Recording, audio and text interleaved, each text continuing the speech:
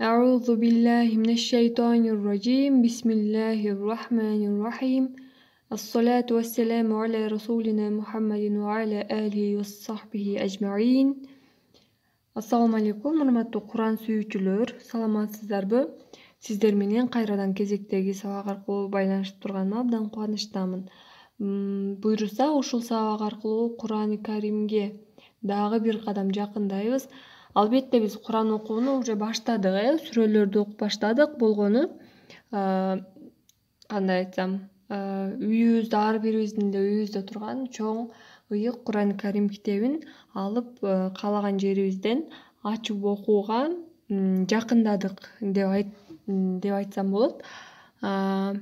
Бүгүнкү биздин тема бул фил сүрөсү. Фил сүрөсүн билгендер билет. Бул пилдер жана абабил деген куштар тууралуу алла таала тарабынан жиберилген сүрө. Демек адаттагыдай эле ар бир аяттын тажвидин талкуулап мен өзүмдүн билгенимчелик. Албетте абдан жакшы толук түрдө кандай айтсам билем же болбосо үйрөтө алам деп айткандан алысмын. Өзүмдүн деңгээлимди өзүмдүн билгенимди сиздер менен бөлүшүп келемин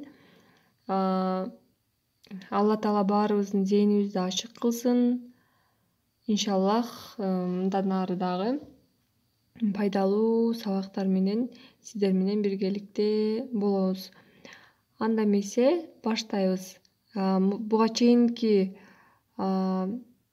методду эле колдонуп аяттардын тажвидин талкуулайбыз анда эмесе фил сүрөсү бисмиллахи рахманир рахим алгач биринчи аятты окуп алабыз э биргеликте сиздерге дагы көрүнүктүү болсун жакындатып алайын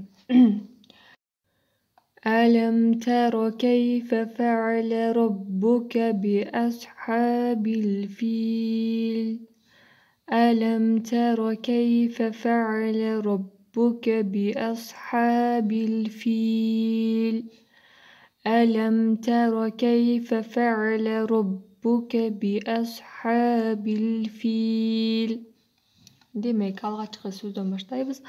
Elem, elem. Bu yerde басым жасалуучу нерсе көпкө учурда таро деп калкала сыяктуу окугандар болот да мим тамгасынчы. Андай окубайсыздар. Таро ката.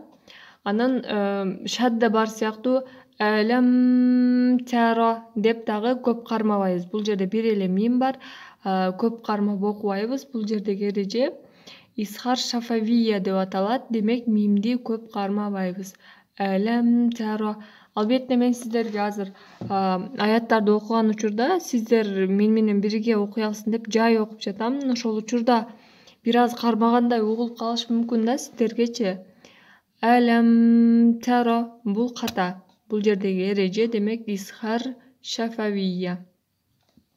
Таро таро таро таро әләм тәро қалқала сияқты оқысақ қата. Әләм тәро әләм тәро кейфе фәәлә кейінгі эмеде кәйфә бұл жерде көп учурда кейфі фәәлә ушундай фатха аракеттерин созуп окушат да жаңы үйрөнүп жаткандар анткени эмнеге созуп окуп аласыздар? Болгону сиздер кийинки сөздү окуганга чейин ушуну созуп тура бересиздер да мынаны тапканга чейинчи әлем таро кейфе деп мынаны окуп алайын депчи роббуке деп. Ушул созуу созгондоруңуздар ката болуп эсептелет так так даана окушуңуздар керек. Кейфе караңыздар роббуке бул жерге чейин эч кандай маттабий эрежеси жок эч жерден созбойсуздар көрдүңүздөр э эч кайсы жерде маттабий эрежеси жок демек эч кандай созуу аткарылбайт андан кийин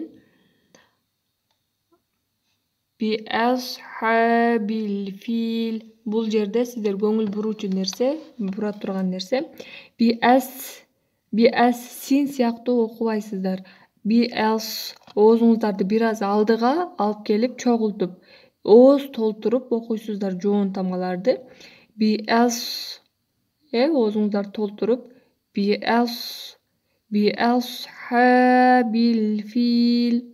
Биэсхабил оозуңуздарды эгерде жайык түрдө окуй турган болсоңуздар ичке син тамгасы чыгат. Бул ката болуп эсептелет. Биэсхабил бул нерсеге мындай көңүл бурбай эле окуп кете берет да көпчүлүк. Албетте сиздер ар бир тамганы даана даана чыгарууга аракет кылышыңыздар керек. Бул нерсеге көңүл буруңуздар башынан. Эгер мынтип оңдосо деле эптеп эле окуп кете берсеңиздер кийинкиде дагы кийинки сүрөлөрдү дагы ошентип окуйсуздар жана бул сиздердин мээңиздерге ошондой сиңип куран окуганда ошол эле каталарды кетире бересиздер да демек биас биасха караңыздар маттабии бир аракет өлчөмүндө созобуз бил фил матти ард бул эрежени билесиздер матти ард бул жерде негизинен маттабийга эрежеси бар э. Бирок аяттын аягы болгондуктан матта арз болот дагы э, э, касра шарттуу түрдө сүкүн менен алмашат. Фили эмес фил деп токтойбуз жана токтогондуктан бул жерде төрт аракет өлчөмүндө созсоңуздар дагы болот. Демек кийинки аятка өтөбүз.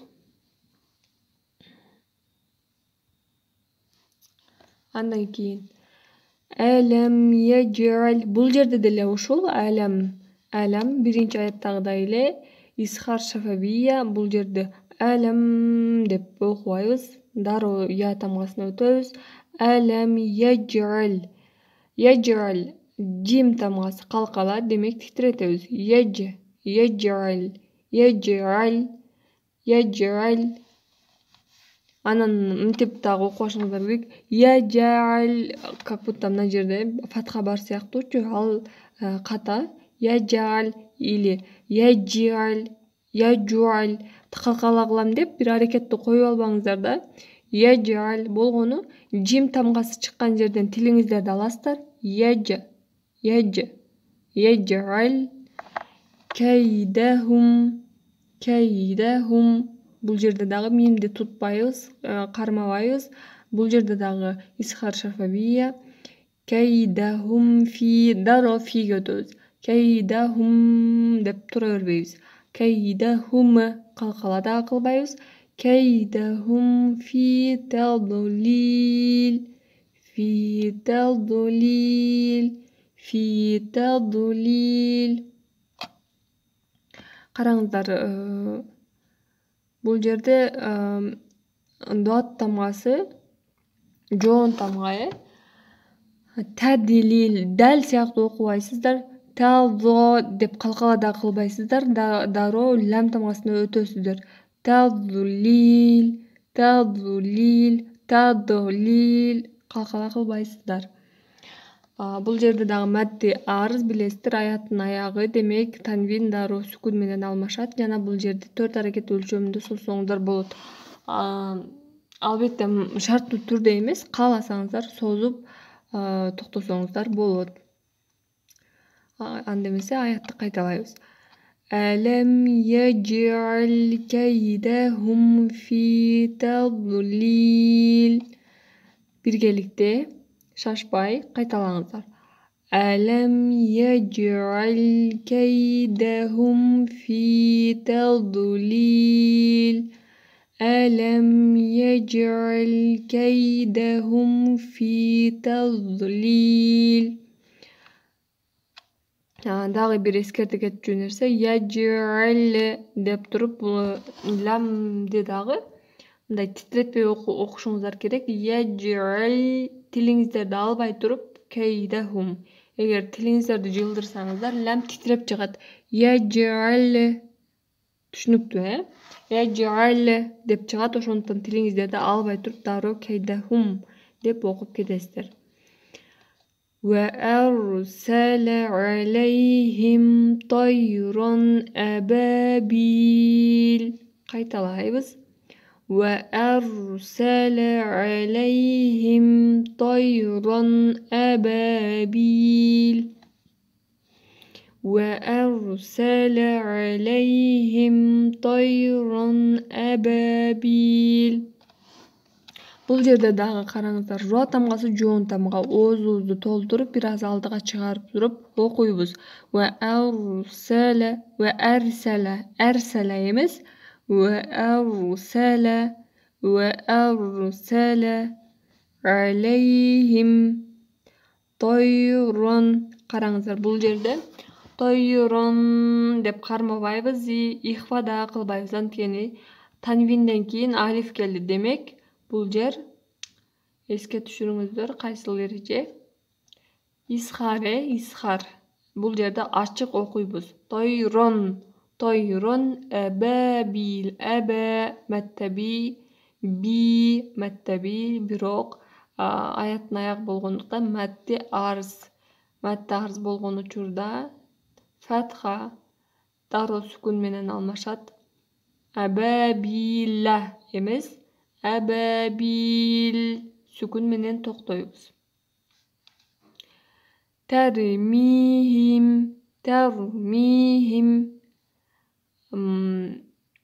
караңыздар бул жерде дагы ро тамгасы жоон тамга тәр сүкүндүү ро дайыма эле жоон билесиздер тәр тәр тәр эмес ичке эмес ооз толтуруп тәрмихим тәрмихим караңыздар ха тамгасын айткан учурда тәрмихим хи.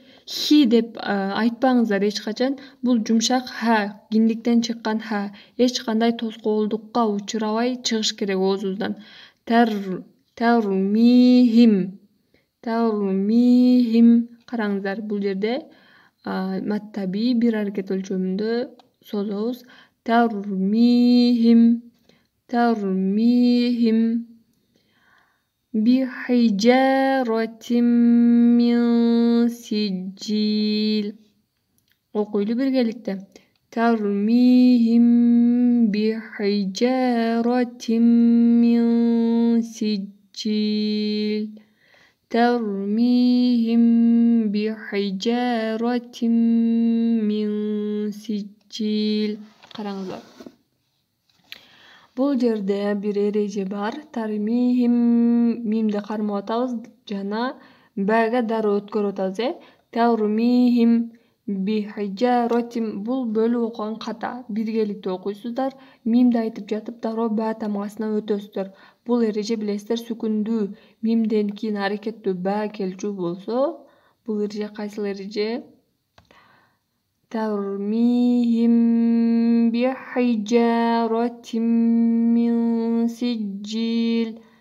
албетте ихва шафавия ихва шафавия егер бұл ережені ұмытып қалсаңыздар өткен сабақтарды қарасаңыздар болады ихва шафавия деген тема бар атайын ә, демек сүкінді мимден кийин аракеттүү ба келе турган болсо ихва шафавия тармихим мимди кармап дароо ба тамгасына өтөбүз ترميهم بحجارة من سجيل ал эми бул жерде танвинден кийин танвинден кийин мим тамгасы келди танвинден кийин сүкүндүү нун же танвин үч танвин тең сүкүндүү нун же танвинден кийин мим нун вау я тамгалары келе турган болсо кунналуу идгам болот. Бул жерде идгам кылып танвинди мимге катып окуйбуз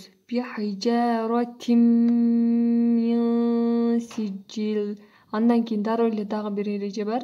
Ихва э сүкүндүү нун же танвинден кийин он беш тамга бар. Алардын ичинде син дагы кирет бул жерде син келгени үчүн үнүбүздү мурундан чыгарып ихва кылып окуйбуз кантип миң сижил миң ың тамгасын чыгарбайсыздар.